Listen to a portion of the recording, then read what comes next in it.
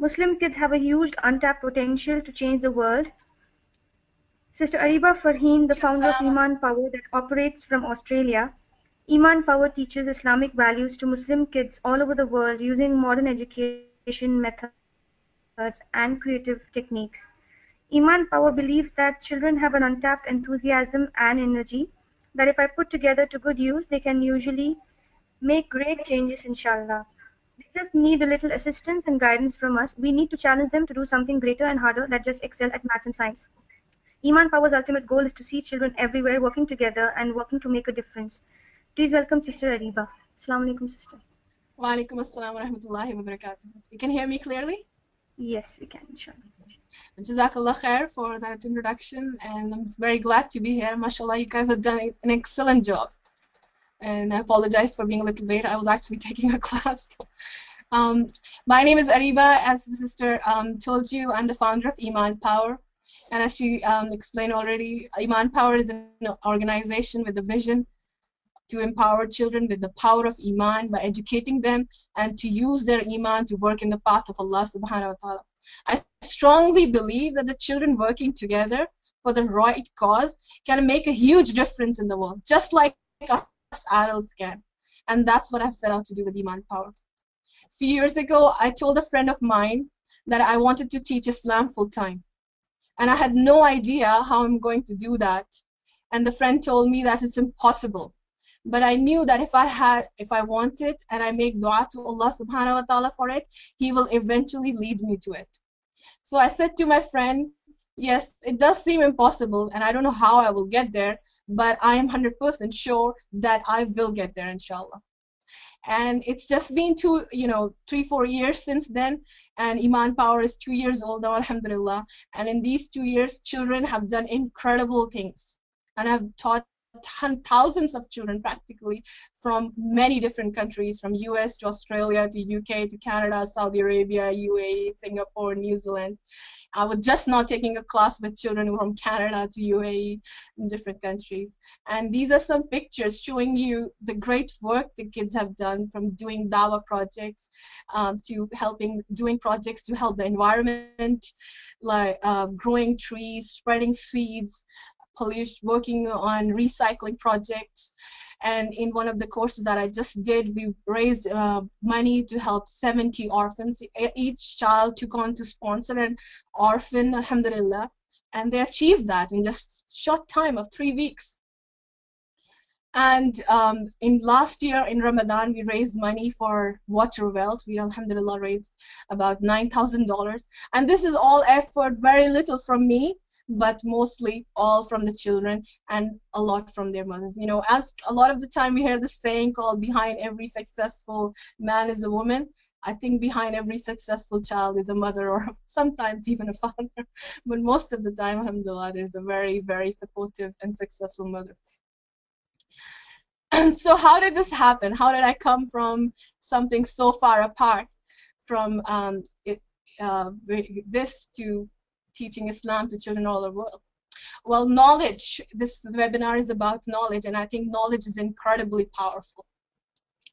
It can bring life to your heart, and the lack of it can kill you, kill the heart. And of course, it's not easy to get knowledge. It's a hard, long, hard path. And this is the story of my hard path few years ago, I was in a job working like a mad woman, absolute alcohol, uh, workaholic, not alcoholic. workaholic. I had a great, I had great success in that job and absolutely loved it. And I was promoted to a director, which meant even more work, even more busy. But then after four years working there, I decided it's time for a change. I had left that project after four long years on working on the same project. And now I realize in the new job that that project meant nothing to me now. It meant nothing. I had sacrificed so much with my time with my family, so many hours of my life, so many days. I could have used that time to come closer to Allah. I asked myself, what did I give up all this time and energy for? What were all those four years for? Money, that's it and this question kept haunting me like when you know and different things happened during those years which just you know made this question strong and strong in my heart I questioned what was my real intention for working. Is it really for the sake of Allah subhanahu wa ta'ala? And mind you, I was still volunteer volunteering. I was still teaching Islam at a Sunday school for probably about seven or eight years at that time. And I was giving more and more money in charity every year. But what bothered me was my intention for working was not for the sake of Allah. I spent my time every day in a struggle, but that struggle was not for the sake of Allah. And as Muslims, we are meant to struggle with everything we have for the sake of Allah subhanahu wa ta'ala. Why am I using all the skills, time, and energy Allah has given me? Am I using the energy and skills and time Allah has given me for His sake? I just kept questioning myself. One day, as I was thinking this, I was sitting in the masjid and I was wondering about all this, and a friend came in. We started talking about work, how hard it is, and all that. And she said, Ariba, we have taken an easy way out. I'm like, what? Easy way out? How is this easy? Our jobs by no means are easy. And she said, we have taken the easy way by taking these jobs. The harder thing would have been to do to have find to find a way to make money and to support ourselves, but still working in the path of Allah subhanahu wa ta'ala. It is easier to just go and find a job in dunya and make money but it is much harder to struggle and look for a way to work for the community and still be able to support yourself. But it can certainly be done.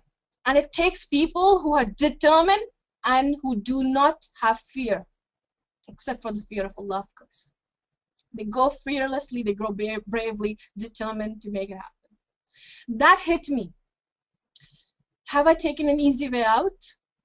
why am I spending all my time, wasting my time, energy for something that is of little benefit to me on the day of judgment? So I decided to change things now. I had always wanted to teach children. That's where my true passion lies. I absolutely love teaching children. I changed jobs and took a part-time job, which meant much less money, but more time to develop more to develop something on my own on this path it was an extremely difficult decision for me to letting go of my career, but I knew I had to do it. As, and as soon as I decided, Allah opened doors for me. I got to attend this business seminar in London. Some of you may have heard about Nishira by Sheikh Muhammad al-Sharif. And I launched Emaan Power straight after Nishira with the determination to do something great to empower children and use their Iman power to achieve great things in the path of Allah. And within six months, I came from having no idea what to do and how to do to having a wonderful vision and a wonderful project uh, which had already benefited so many.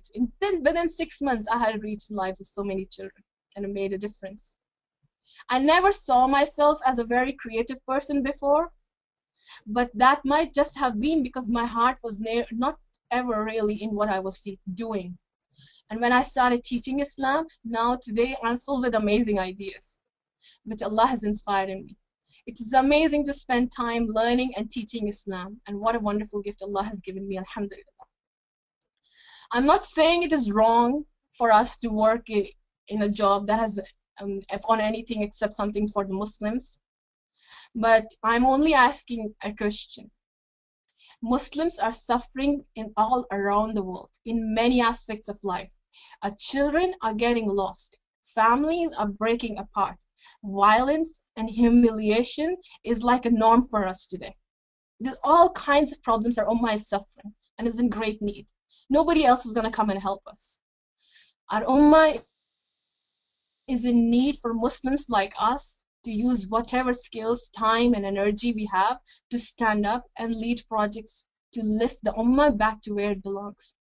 So is it really right for us right now to be devoting our life to anything except for the benefit of our ummah in who is in need? Is it not an obligation for us to use whatever time and energy we have, skills we have, in whatever area we can for the sake of Allah alone? What excuse can we possibly help, have? Last words I would say to you is to go forth, Trust Allah, ask Allah for help, and take action.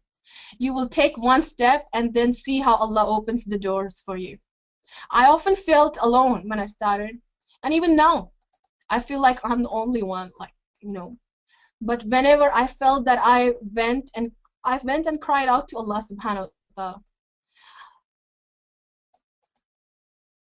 And then everything became much easier you may not have a big team especially when you're starting out you it requires a lot of courage to do that to take that step. And you are alone you feel you might feel weak. And you know if i have felt that i have to do this alone i probably would have never taken even the first step.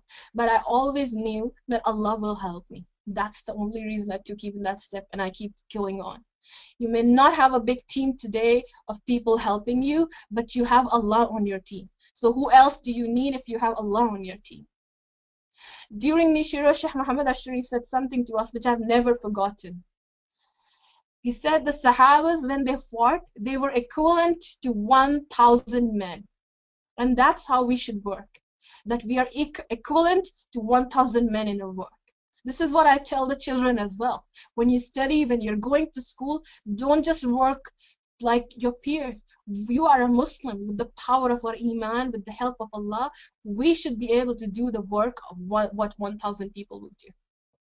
It may be a struggle to do this, but make it your jihad for the sake of Allah subhanahu wa ta'ala.